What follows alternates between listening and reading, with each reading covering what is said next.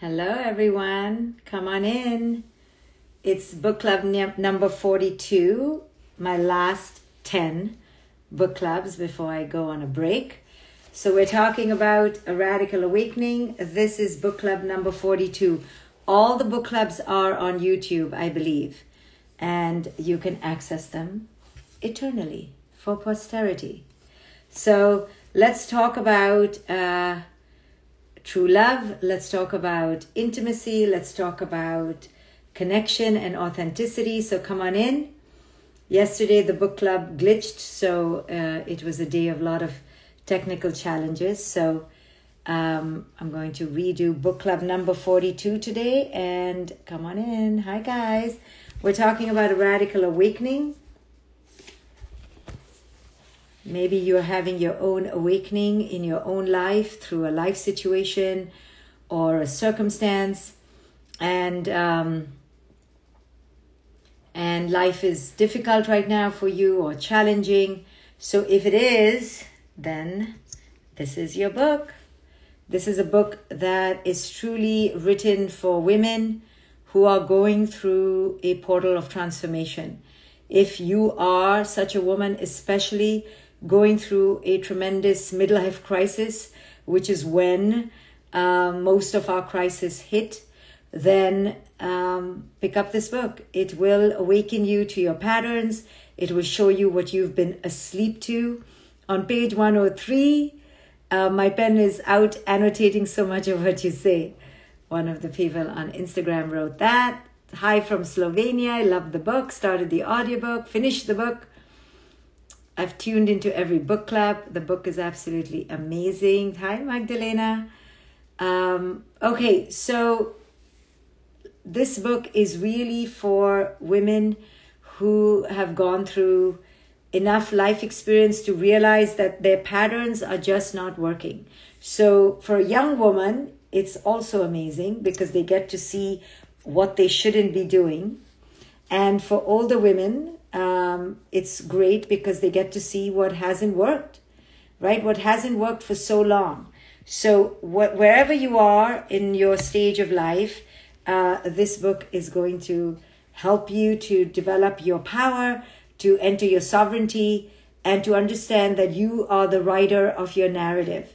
You are the writer of your story.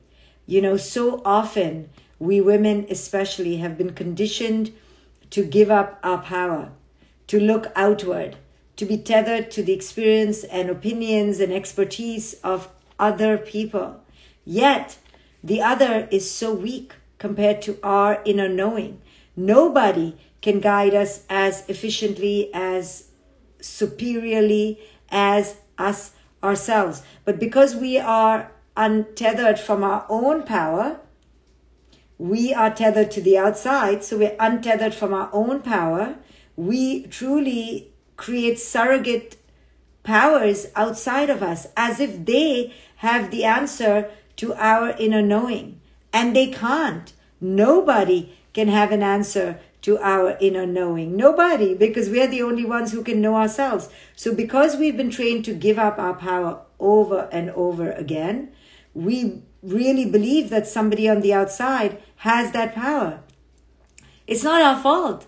It's our conditioning. We've been living in a void to our own inner knowing. We've been living disconnected to our own inner power. And because of this disconnect, it's truly a mind trip, but we truly do believe that the other on the outside has power. It's a fascinating thing. We really believe this bullshit lie that somebody on the outside can know us better can uh, lead us better, can know who we are more than who we know who we are. It's a fascinating thing that occurs. And it occurs because we've been conditioned to rely on others on the outside.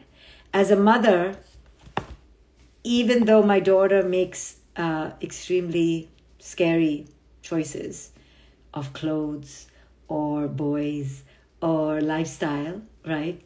Um, I try my best to zip my lips because I so understand that human nature needs to arrive at its own authentic power. Now, do I know the right answer for her? 120%. Do I see her running into a wrecking wall? Yes. But I try my best until and unless the danger is huge to zip it. Why? Because every human being wants intrinsically to arrive at their own inner knowing. They just don't know it because it's been robbed from them. So I try not to rob it from my daughter, even though it's like, oh my God, like, how do I not say anything right now? How do I not speak up right now? How do I not give you my opinion right now? But I learned to zip it because after a certain age, we must develop our own inner knowing. And yes, it's easy to rely on someone else. And yes, it's easy for someone to give us the answer, but that is not authentic. Authenticity arrives from struggle. It arrives from pain. It arrives from failure. So yes, as a as a protector as a mother as a friend you want to you know clench your your your fists because you want you so badly want to protect the other but you can't we cannot jump in to protect other people more than they want to be protected because they must arrive at that inner power on their own. So do you value, value authenticity or do you value, value dependency? Do you value that somebody go through the struggle and arrive at their own resilience? Or do you value you being the savior? Right? You have to ask yourself, what is authenticity? Authenticity is struggle. No one just knows who they are. Even if no one robbed us of our inner knowing, we would still struggle because every knowing takes time. So, given that we've been robbed from our inner knowing, we must go through the struggle to arrive back at that clarity. It takes months, if not years, to discover the inner voice that has been forgotten, that has been suppressed, that has been ignored right? It takes cultivation. That's why I try not to suffuse my daughter's voice because she'll take years to undo that. So I'd rather her be native to herself, her be original to herself, her be the original copy, the first copy to herself. But if we lay a copy over copy over our children and our partners and each other, then it takes even longer to discover the authentic self. So you have to ask, what do I value? What do I value? If it is comfort, then that's against authenticity. If it is uh, complacency, that is against authenticity. If it is status quo, that is against authenticity. So you have to ask, what do I value right now? If you prefer connection, sometimes connection trumps authenticity right? If my daughter comes to me and goes, Mommy, Mommy, what do I do? And she's trying to connect, I have to really decide do I want to be a mom or do I want to be a shepherd of her authenticity?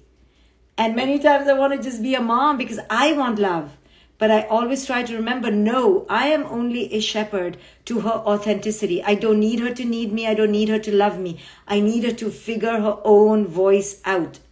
And that means sometimes abandoning the ego of mother, right? Abandoning the ego of friend, abandoning the ego of lover, right? Are we each other's spiritual ushers and spiritual partners or are we not? Now I know I'm asking a lot because everyone is like, no, I'm a wife. I'm a mom. But at the highest calling, we are each other's spiritual partners. Yes. So if you tap into that, then you realize that your ego has been identifying with the role, but your true, your true uh, ultimate highest self is to be each other's spiritual partners, which means your ego has to step out of the way. It's not about your love. It's not about you being amazing in somebody else's life. It's about, hey, you do you and flourish. I'm here to guide you and I cannot rescue you. I cannot step in to take away your pain because I will be doing you a disservice because it is through your pain that you will discover your ultimate resilience. It is through the struggle that you will find your own saviorship. It is through your gnarly, lost ways, losing your way that you will find yourself. So you have to, you have to ask yourself, what is the point of this existence? What is the point of my presence in this person's life? If it is for my ego, then I won't be their truest spiritual partners. So, talking about transcendent partnerships, transcendent spiritual ushering of each other requires that we first become our own greatest spiritual partners. No, really, I mean, it's really a cliche that, oh, love yourself and then you can love someone else. But no, really, truly, how do you love yourself? How do you truly be your best companion? Because at the end of the day, you have nobody. It's an illusion that you have anybody, okay? All you have is some other person's company. But that is not your destiny. That doesn't fill you up.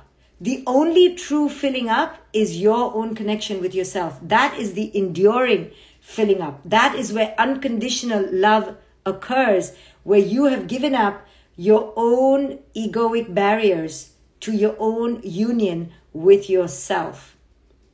So, the greatest transcendent love can only occur when you are fully devoted to yourself. You cannot have great sex with anyone unless you have had great sex with yourself. Yes, sorry. So if you've never had sex with yourself, you're not having great sex with anyone else. I'll tell you why. Because if you don't know what gives you pleasure, how can somebody else give you pleasure? In the same way, if you haven't spent time by yourself, not zoning out, watching Netflix or on a couch, but truly walking or contemplating or reflecting or journal writing or anything that takes you within yourself, then you cannot be truly with anyone else. If you don't really have chemistry with yourself, if you don't think that you're like, wow, amazing company, if you don't think that you are like, wow, really intelligent, really emotionally smart, really psychologically savvy, how are you going to find anyone else like that? Leave alone them find you these things. So it's the same cliche become the love you want. Yes?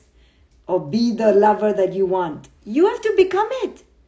In order to do that, you have to cultivate it. You know, I say unabashedly, I 100% adore myself, even though I can drive myself crazy. 100%. But I have compassion to myself. I have I find myself funny.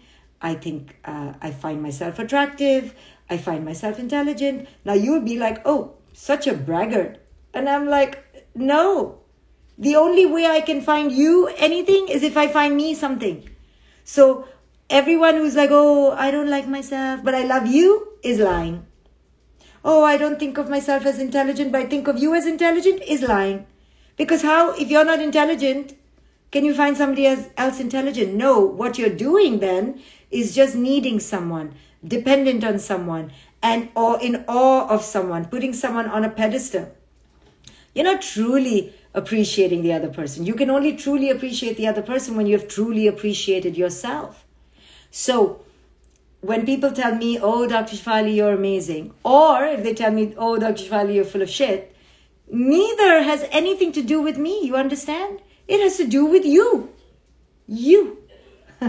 so I don't take your compliment and I don't take your denigration of me because I've learned that neither have anything to do with me. So similarly, when someone says that they love you, but they are clearly not loving themselves, they don't love you. Sorry.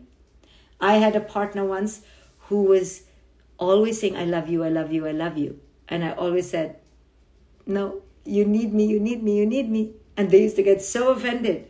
I love you. I'm like, you need me. but fool me, I stuck around. Okay? Because I loved to be needed. So me too. I was like, I love you. In my head, I'm like, no, I like to be needed. So let's call it what it is. Most of us are in needy, possessive, attachment based relationships, transactional in nature. I talk about this in many of my courses, especially the one free to be. It's a relationship course. It's 50% off. I think if you're struggling in your relationship, you may want to take it. It's 50 all my courses by the way are 50% off if you want to explore them right now. You can use the code SAVE50 S A V 50 and take a course. They will be going off sale August 15th. So go ahead and try that. So if you want to be in a transcendently intimate relationship with someone else, you have to understand yourself. You have to discover who you are. And I'm sorry, that takes pain, that takes solitude, that takes time, that takes being awake and aware, that takes doing the work. Okay, I started my first meditation I was 21 years old. That is 28 years ago. 28 years.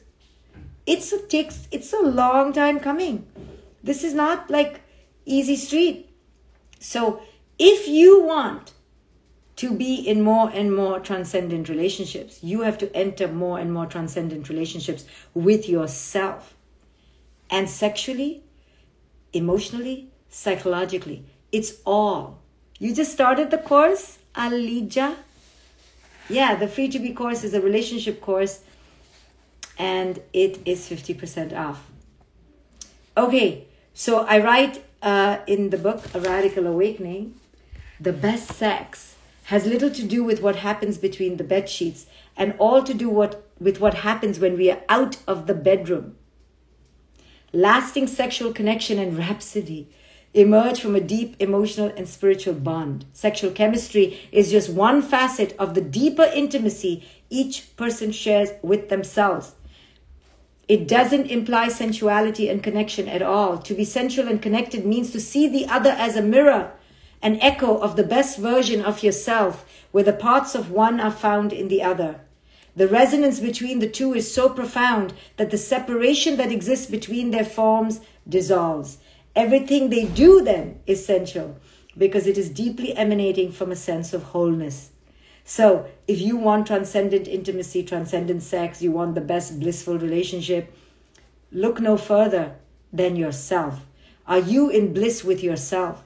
Are you taking care of yourself? Do you wake up every single day and go, I'm going to be psychologically connected to myself? I'm going to take care of my skin, my body, my hair, my, my muscles, my intellect, my emotion, my financial well being, my friendships, I'm going to take care of all aspects of me. And the more I water and blossom me, then I become the tree that others come to take shade from. Powerful people, whole people, they don't go looking for anyone. They, there's nothing to find. You know, any time alone is like hallelujah. Time between relationships is not the time to go look for a relationship. It's to say hallelujah. This is this is a time to go back to me. This is a time to regroup with me. So we don't go back. We, we don't go looking. There's nothing to find. Understand this. There is nothing to find. And then you have the potential when you live with that abundance and that completion and that wholeness, then you have the potential to be in transcendently intimate relationships with all kinds of people and plants and dogs and children. Not just lovers, all kinds. Your community becomes resemblances and echoes of who you are and the the wastage the sewage in your life goes away it's like a purification system and if sewage shows up you're like oh no problem i need to purify more i need to clarify more. I need to enter myself more. No worries. I'll do more work. So everything becomes a reflection of how much work you've done. How do somebody's asking how do you teach your children? You don't teach your children anything. You figure this out on your own okay? If they want to learn if they want to arrive at this at their own time if they want to come to it because that's their calling they will. I have no desire for my daughter to be another version of me well i did a long time ago but i dumped that fast in the gutter when i awakened i realized she can't be me she has to have her own path maybe she'll never look at a single video that's the way the trajectory is right now. She's like, Mom, stay away from me. Don't talk to me. I don't want to hear you. Do not talk about meditation. And I had to let go of my ego wanting her to be this way because it's so amazing. But if it's not her way, it's not her way. So we don't try to convert anyone. Again, we put our eyes back to ourselves and focus on ourselves. So Brooke Penny is asking, is the course for individuals or couples? I want to sign up today. It's for individuals. I'm talking about individuals all the time. A couple is only a truly transcendent couple when the individual is in union with themselves. So all work starts with us. Okay? So I write um, true sexual chemistry has nothing to do with how the person looks or how much money they have. Only a little. I must have been smoking something when I wrote this. Hello? True sexual chemistry has nothing to do with how the person looks. What was I smoking? Oh, how much money they have? Okay, scratch, scratch, scratch, scratch. It has a lot to do with how they look and how much money they have. Okay? Tell your daughters, do not go after a loser. Okay? From the street. Okay. In the book, though, that's my highest self talking. when I talk to you now, it's my lower self. And I'm like, wow, I wrote that? Okay, let's see what else I wrote in my higher self. Neither is it something we can create only by imbibing chemicals, as in smoking something like ecstasy or, you know, ayahuasca. No harm in trying, though. That's what I say. The real chemistry, okay, here, no, I'm serious now, okay? The real, it's, it's actually true. No, really, really true. Money, I don't know, a little bit of money helps, okay? But has nothing to do with how the person looks. No, no, really, guys, seriously, it really has nothing to do with how the person looks because when you're connected to someone on an emotional and mental level, they have to look like average, okay? However, the mental and emotional connection overtakes you. You know, you've met somebody whose whose mind was amazing, you know, haven't you? And their mind overtakes the body almost. You know, the, the body cannot be in shack in shambles, okay, like cr- crumbs on the floor. It has to be decent. But let me tell you, what is sexy is your emotional and mental connection. And we, we women know that, right? When we see somebody who has character, who has charisma, who has heart, who has compassion, who has a mind, that overtakes the body. Now, can I say that it's the same for men? Mm, I don't know. But for women, it's different. And we need character. We need a mind. We need consciousness. At least that's what I need. You know, I don't know. Yes, for women, a beautiful mind is so sexy, isn't it? So sexy. Put that with a good body and money, you got the whole package. Okay. Um, but no, this is true. When you're really connected, your body can creates its own stimulants and its own psychedelics. You know, one of my boyfriends long time ago was like super good looking, like a model. So boring. So boring. So boring. Prettier than me. Who needs that? We don't need that. When we experience this kind of mental and emotional psychological connection, we touch upon our innate potential to be sexually transcendent. Deep emotional and spiritual connection is the real aphrodisiac. If you've ever felt this, let me tell you guys, it's the ultimate turn on. In an awakened state, to be intimate means to be in time, meaning right here, right now, in time and into mate. It reflects a deep ongoing connection with the other in the present moment and in the union to the other means you're awake to the other, you're present to the other, you're attuned to the other, you're alive, you're lit up. The other lights you up. That is true into me see. The very word intimacy can be broken into into me see where the me is the part of ourselves we see reflected through the mirror of the relationship. When we are truly engaging in an intimate relationship, the act of sex is not a verb.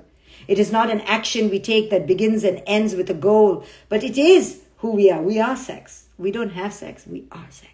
How about that? Through our touch during the day, our dialogue, our shared memories, and our spontaneous laughter, it's how we experience the other.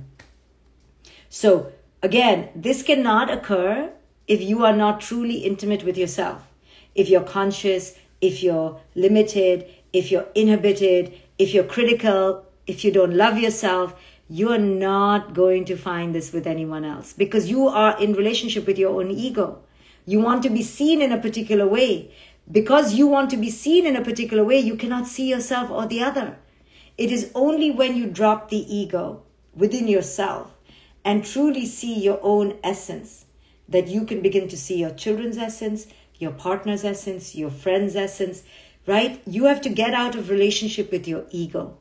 Most of us are in relationship with our own ego. How am I being perceived? How am I being loved? How am I being liked?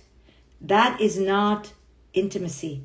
That is egomacy, right? You are an egomaniac in relationship with your ego and you think you're in relationship with your child and you're not. You're constantly coming up your own relationship with your ego. So if you want intimacy, get this book and understand that you can only find it in life, in lovers, in nature, when you walk in your own self. You walk truly in your own skin, truly grateful to be you, to be your, your authentic self, truly abundant as you are. I'll see you for the next book club when I see you. Only nine more left, something like that. Bye, guys.